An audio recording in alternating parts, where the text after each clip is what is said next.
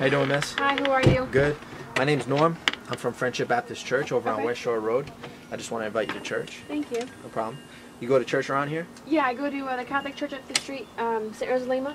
Okay, I'm familiar with that church. Well, look, uh, more importantly than going to church, miss, the question we ask everyone, if you died today, God forbid, are you 100% sure you'd go to heaven? Yeah, I believe so. You believe so? Okay. Yeah.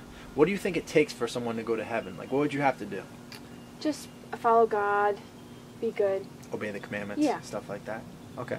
Well, look, like I said, we're a Baptist church. Okay, We base all of our beliefs on what the Bible says. okay, And the Bible makes it very clear there's one thing that has to change about someone in order for them to be saved, okay, in order for them to go to heaven. It's not the way you dress or the way you act or the way you live, okay. it's what you believe. What you believe will determine where you spend eternity. So if you had a couple minutes, I could show you real quick what you have to believe specifically so you can know for sure you'll go to heaven when you die. Um, yeah, that's I can fine. show you? Yeah. Okay. What's your name? Olivia. Olivia Norm. It's nice, to meet you. Now, Olivia, what's your stance on the Bible? Do you believe the Bible's the Word of God or it's just the Word of men? I believe it's the Word of God. It's the Word of God, okay. So it doesn't matter what I say unless it lines up with what this says. Yes. This is the final authority. Well, the Bible says in Romans chapter 3, verse 23, For all have sinned and come short of the glory of God. First things first, we all have sinned. We all are sinners. Now, if we've all sinned, the next question is, what's a sin? The Bible defines sin for us. It says sin is the transgression of the law.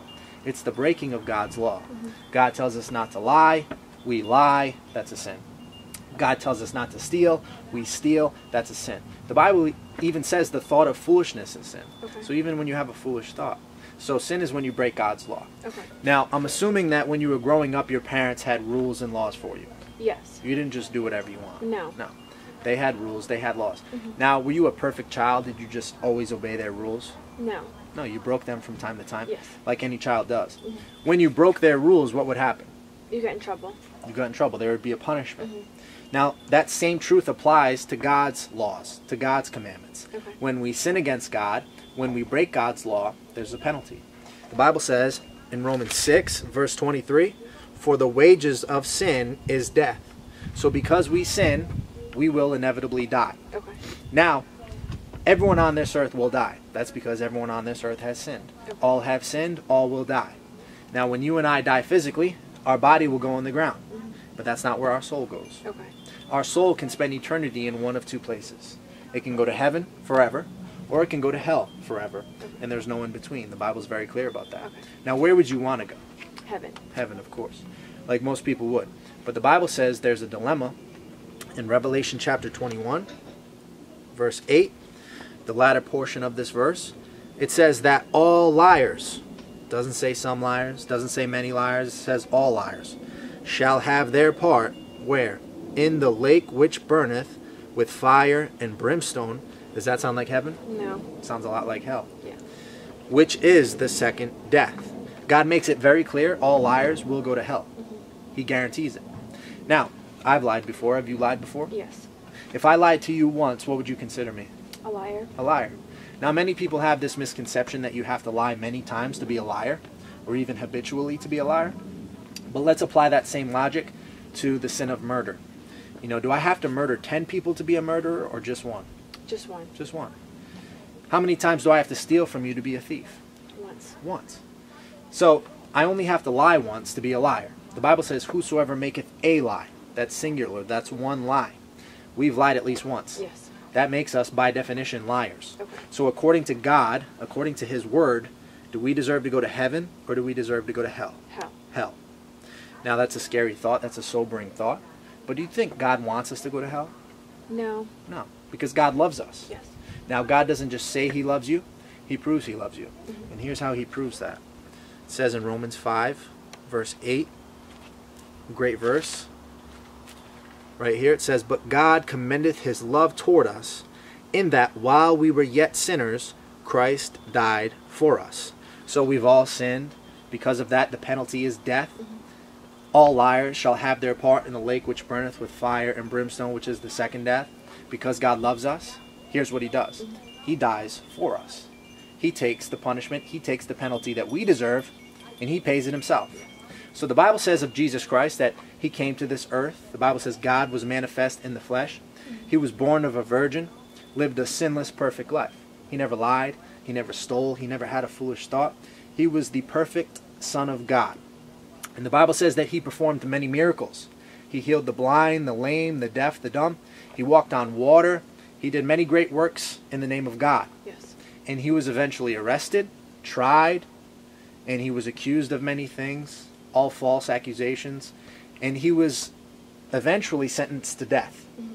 And he would die on a cross. Now, the Bible is real clear that Jesus Christ died for the sins of the whole world. Not just you and I, but for the sins of the whole world. So basically, Jesus Christ took all of your sins, placed them upon himself, and it was as if Jesus Christ committed those sins. Yes. So he also had to pay the penalty for sin, which was death. Therefore, he died on the cross for your sins, for my sins, for the sins of the whole world. Not only that, the Bible says he was buried in a tomb for three days and three nights. Mm-hmm. During that time, his soul descended into hell to pay for our sins. But on the third day, do you know what happened? He rose again. He rose again. And it was a physical, bodily resurrection. He showed the disciples the holes in his hands, the piercing in his side, and he proved to be who he said he was the Son of God and God in the flesh. Yes. Now, Jesus died for everyone. Yes. But do you think everyone's going to heaven?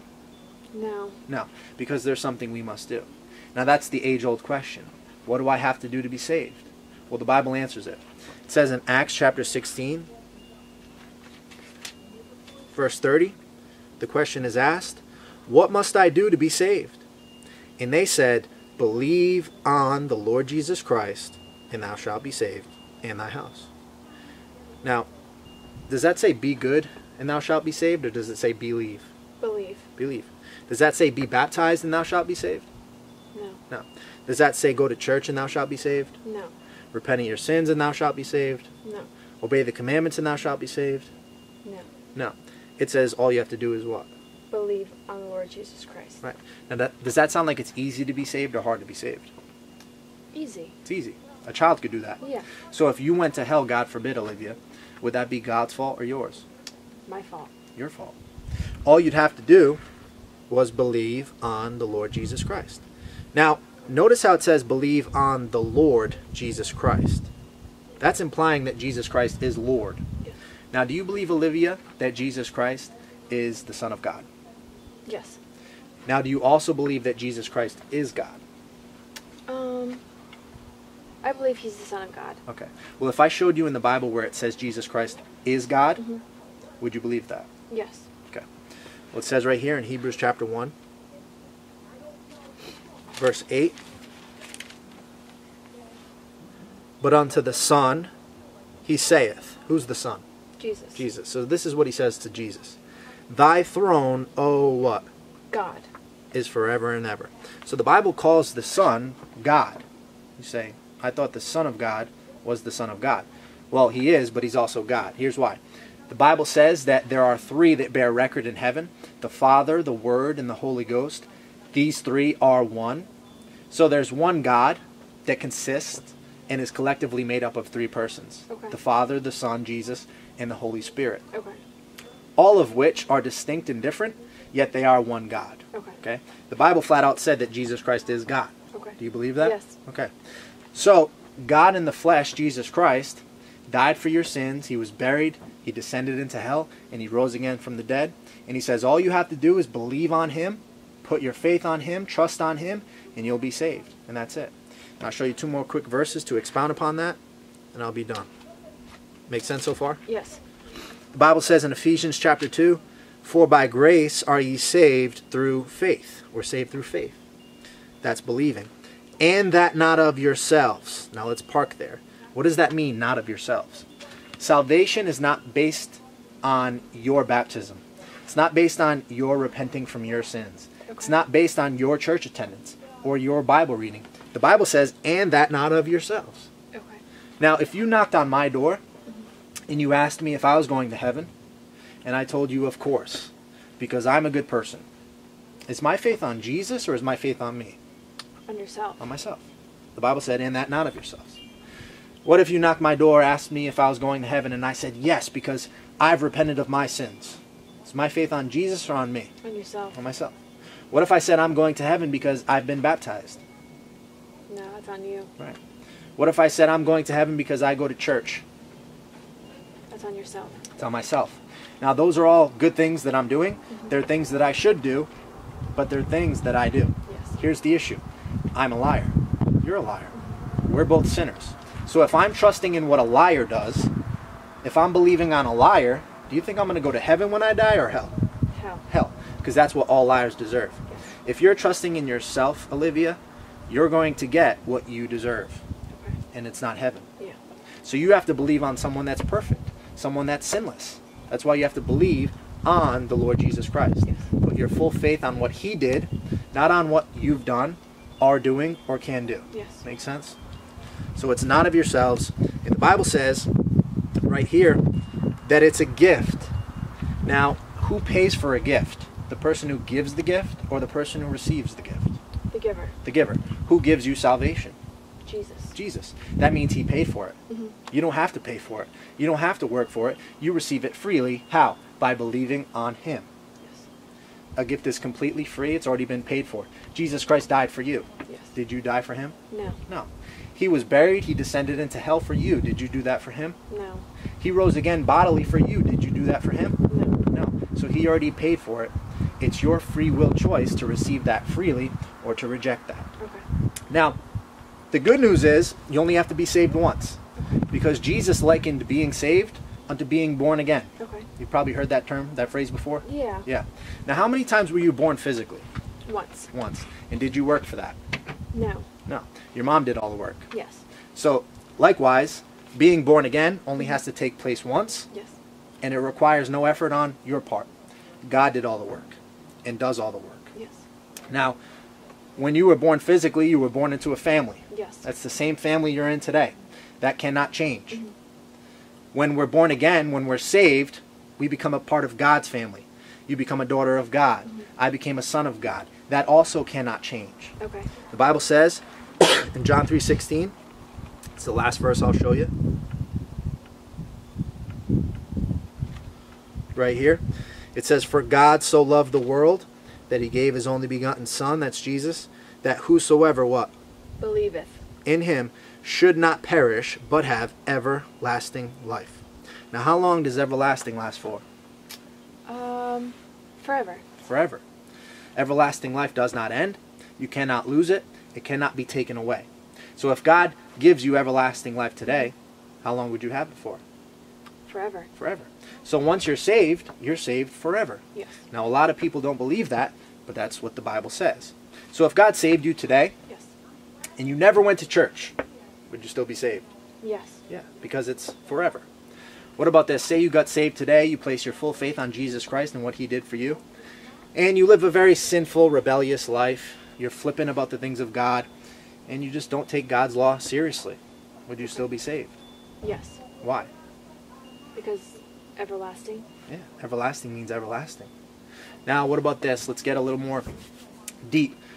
What if you got saved today, a couple years down the line, you get involved with the wrong crowd, and you end up taking someone's life, which is a wicked sin?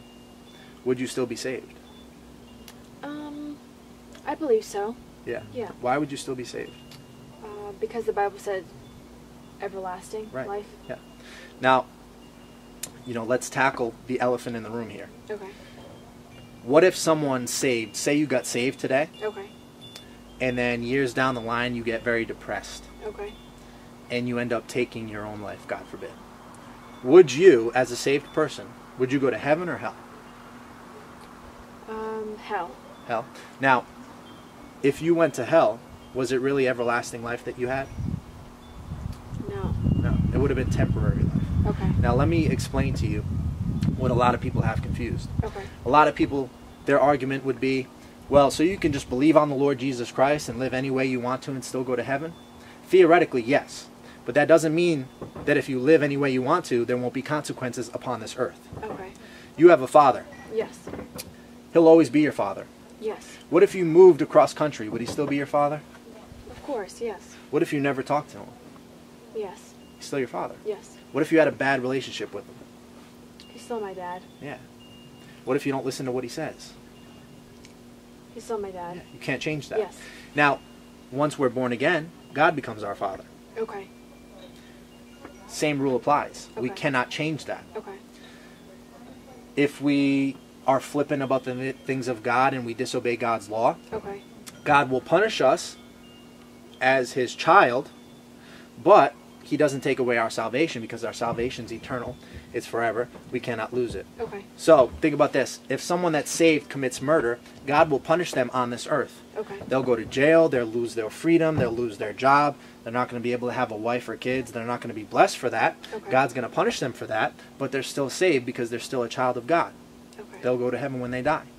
Even suicide, if someone takes their own life but they're saved, there's going to be repercussions for that. Okay. Number one, on their family. How's that going to affect their family? Terribly. That's horrible. They're going to miss out on the future that they could have had for God. If I took my own life, you know, I'm not going to be able to be blessed in the future by God. I won't be able to have a wife and kids. I'm not going to be able to live to the full capacity that Yes. God would have me to live. I'm going to miss out on that because of my sin. Mhm. But I'm still saved. I still go to heaven. And there's examples in the Bible of men that were saved who took their own life, unfortunately. Okay. And the Bible says they went to heaven. Okay. Now, just quickly, quick overview of what we talked about. Okay. All have sinned. Yes. All will die. Yes. All liars shall have their part in the lake which burneth with fire and brimstone, which is the second death. Mm-hmm. The Bible says Christ died for all. He was buried and rose again for all. And he says that all who believe on him fully will be saved.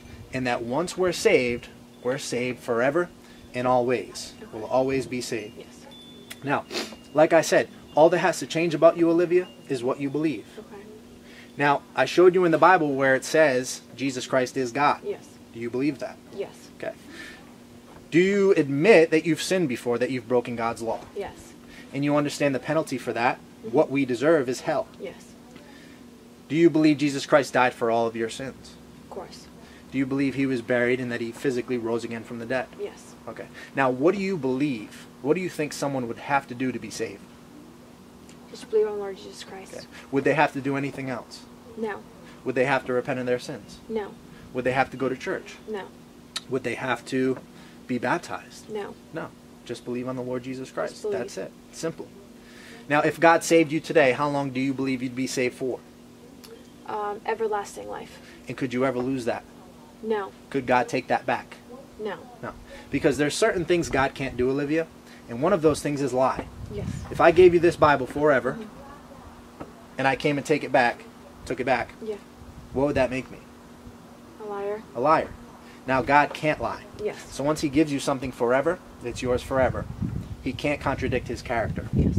So you believe that once you're saved, you're saved forever? Yes. You could never lose that? Yes. So even if you were to take someone's life or to, God forbid, take your own life, would you still go to heaven?